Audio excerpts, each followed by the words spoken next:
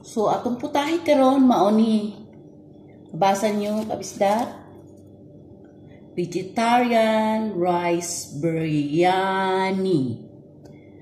Ug ang atong uh, ingredients, maoni. Okay? Vegetarian biryani. Atong ingredients, on we have need to chop onions, one head of uh, garlic cloves, and cinnamon. Na ako'y powder na pud na pud-pud na siya kabisda. Kani siya cinnamon ni siya. Cinnamon. Hmm, smell nice. Then kani gitawag nila nga habahan diri. O in English is cardamom. Mo ni iyang powder. It called Can you see that? that mabasa ninyo cardamom powder. Halang-halang ni sa kabisda pang pawala sa amoy-amoy. So, pepper powder, natin pepper powder. And walang kamatayang baby, bay leaves. Oh, bay leaves din siya. So, and salt. Uh, di na to kalimtan ang atong salt and pepper. So, atay peppercorn. So, gamay lang atong peppercorn. Okay, gawin lang mga kuan lang kay. Akong pakaunon ka disdak, uh, upat na katawo. So, lang ha. So, kini siya ko ngay lang pwede siyang habahan kay halang manggunang kaning kuan kani siya kabisdak o kita niyo ni. Kani siya kadagko kuni. Kita niyo siya. Muni siya cardamom nga dagko kanang buo. O, mo niya ang powder niya. So, kita nyo, dagko siya, di ba? So, na siya gamay na salt and pepper. Kani pepper powder ni, bago na kong ipalit. Kani salt. Yeah. So, we need to chop, chop, chop. And, ready. Tungkol kay rice akong himuon. Ato ang palamion kini. Yeah. So, sa kuan pa, mao ni pinakakuan niya, onion. Isuti man nato ni siya atong buta ibutang paisdak kay muri ba yung magsilbi niya nga murag yang BGS dito sa sulod kay wala kay laing sagol. Gawa sa mga uh, condiments na yung gibutang pang sagol-sagol. So gabi nakalimot ko ani kuan dapat ako na ada ko tip sa inyo kabisdak para dili mo halangan ani. Dili tani mo halangan. Kanang pagkuman yung hugas pagkuman yung I mean, pag kumanin nyo ka ng panit ani, isok nyo ni water niya, ibutang nyo sa fridge. Ibutang nyo sa fridge kabisdak. Tapos, uh, paggamit nyo next day, di na kay halang as in di na ka mag CRY, CRY per me. Oh, mag-cry, cry, cry. Okay, karon kay wala man ako ni na kuan ah, agwanta. Agwanta alma kay wala nimong gibuhat gabi eh. Muna siya kabisdak. What's that? Lang ha? Tapos garlic. So, ilang garlic diri kabista ka ng guwapa kaayo. Hmm? Dagko kay suoy. Kita nyo kabista ko. Tingnan ko ang suoy. Kambok kay suoy ba? Hmm? Kita ninyo. Kanahan kay ko, pinaka-paborito na ko kanang mag-cook na kay kanang mag-dap ko ani. Pisa kanang ko kabista ko, pisa ton lang nimo siya. Dili ko professional nga kuan kabista ka pero kani siya kani akong mga style mga tinud kinuduan na pod mi tinuduan na pod ko sa akong mga kanang mga una na una na gud nimo niya isa pa kanang kami kanang nami diri di patudluan pod mi sa among mga amo sa ubang nga tahi dinhi. Kay di dili ba ta familiar ani di ba ta hanas ani nga kani mga pagkauna? So diri na pod ko kabalo ani.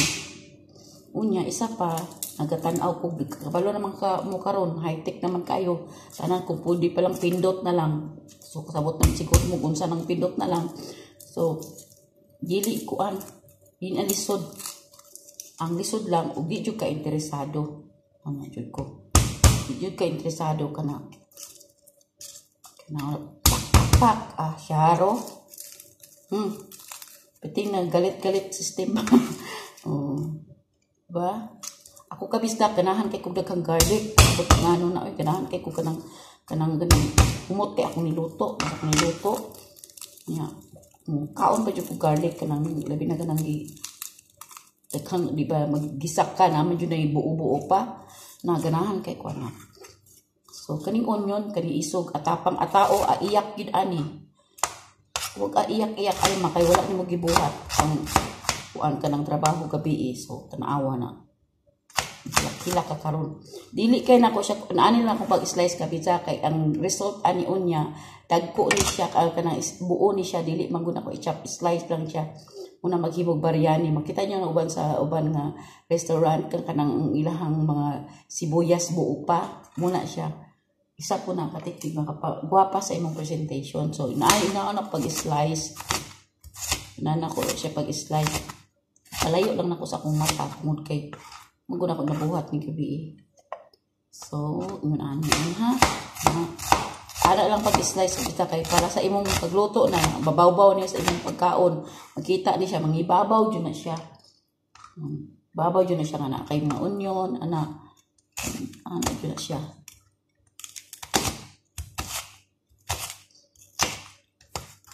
Ug happy Sunday day sa atong tanan ha? Sunday day sa ida na ano ito na sa inyo kami buntag pa.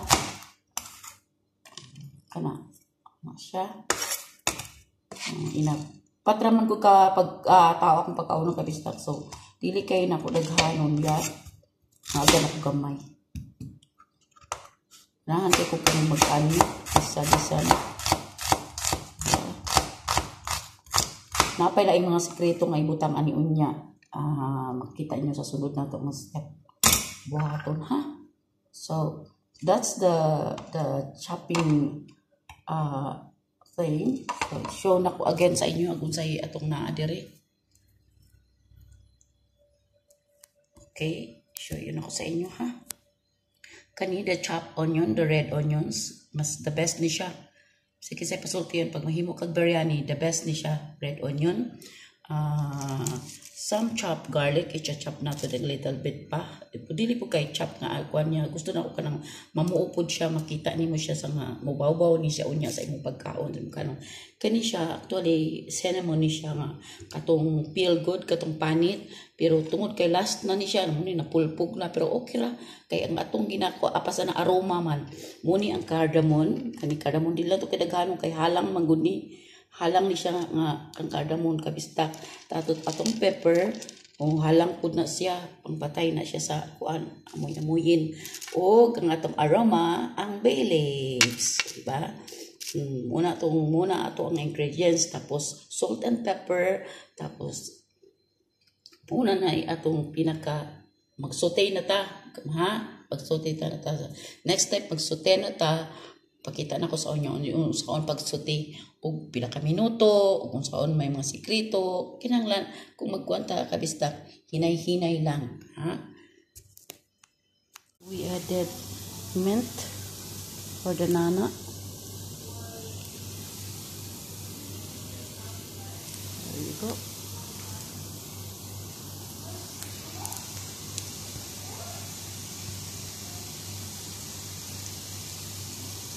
The nana.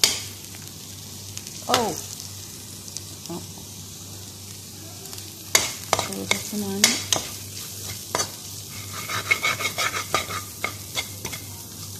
A little bit. So here you go.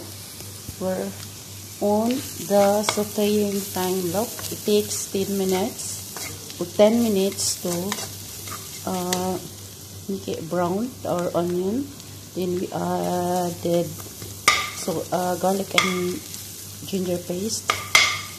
Then this one like a tablespoon of this thing the biryani rice spices. So it.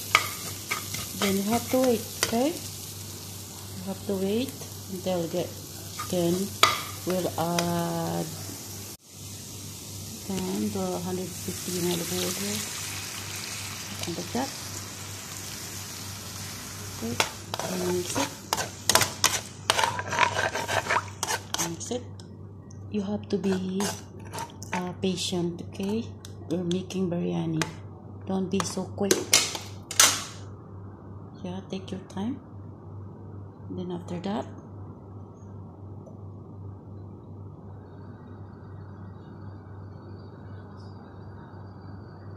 you see that?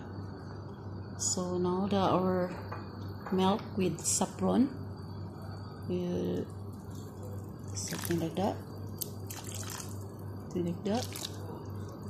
Something like that. Okay. So a little bit of water. Just a little bit. All right. So you have to cover it I'll put lid back on. Lid back on. So can you see that? The fire. So you have to control. Control. Okay sir. That's fine. Perfect. Okay kabistak ano yun siya? Magluto taning biryani rice. Magdali-dali ha?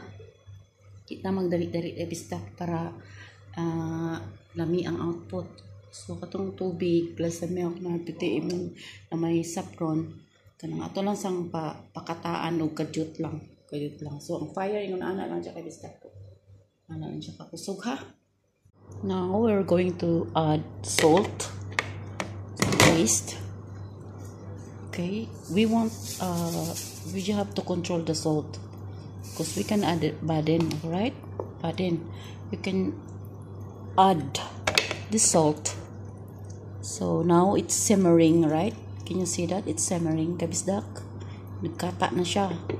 So to, tubig pa lang na siya. Katong milk mo pa na itong mga lamas wala pa di ang kanon na so dili na to dali dalion dili na to dali dalion kanang magluto. Tag biryani di magdali dali mo bitaw na nga gisok da ng bugas kay ang bugas bisag 7 minutes maluto na dayon sa gisok na nga presok na na siya mo na siyang gihuluman.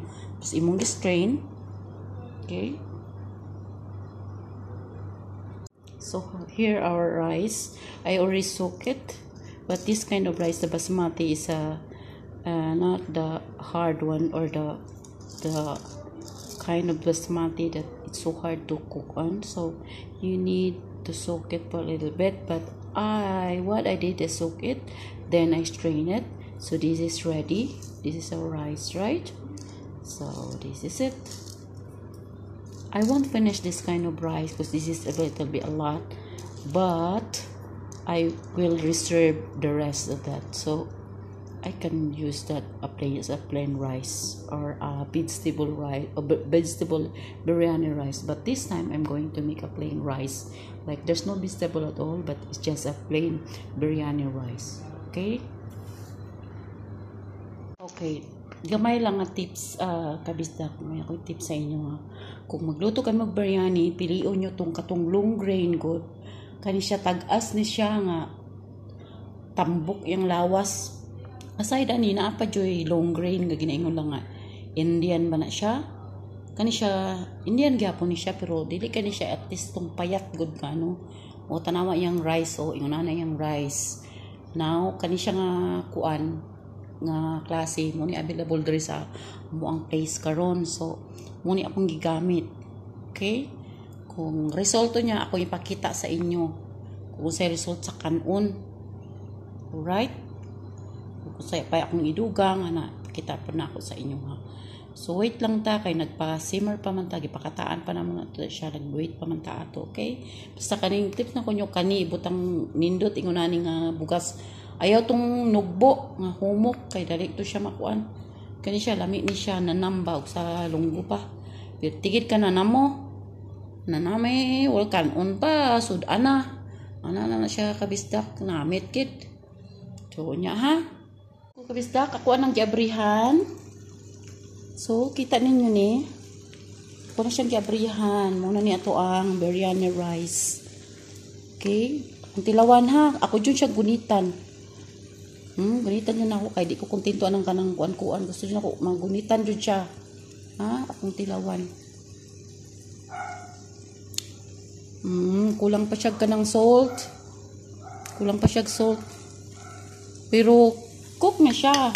Kita ninyo, mas lahi na itong na pre-soak, no?